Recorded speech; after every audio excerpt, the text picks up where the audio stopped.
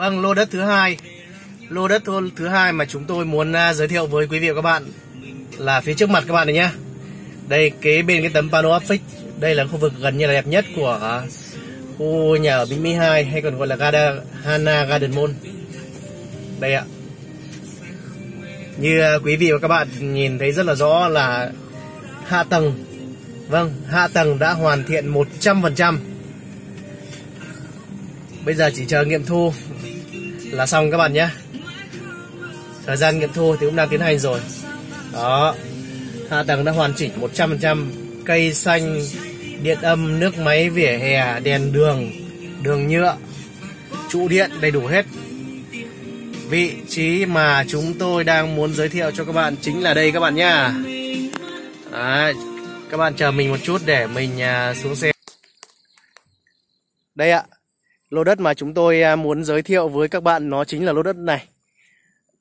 À, trước tiên là cũng xin lỗi với các bạn là trải qua mất à, hơn một tháng mà à, mùa mưa ấy thì là cỏ nó mọc tương đối là nhiều.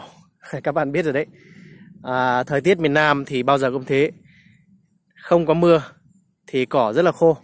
Tuy nhiên nếu mà đã có một trận mưa, một hai trận mưa xuống thì cỏ mọc rất là nhanh. Liên kế 9 ô số 3. Mặt tiền là 5 mét các bạn nhé. Đây ạ, mặt tiền 5 mét. Trụ điện và cây xanh là luôn luôn đặt ở phía hai bên của mỗi lô đất các bạn nhé. Chiều sâu sấp xỉ 25 m 24,9 m Tổng diện tích sử dụng là khoảng 124 m vuông.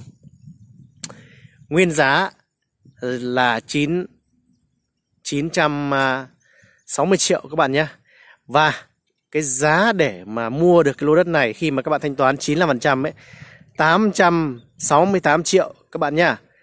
868 triệu cho 125 mét vuông Tính ra khoảng 7,1 triệu trên một mét vuông Cực kỳ rẻ Các bạn thử tìm đi Tân Uyên Có chỗ nào rẻ như thế không ạ Hạ tầng hoàn chỉnh 100%.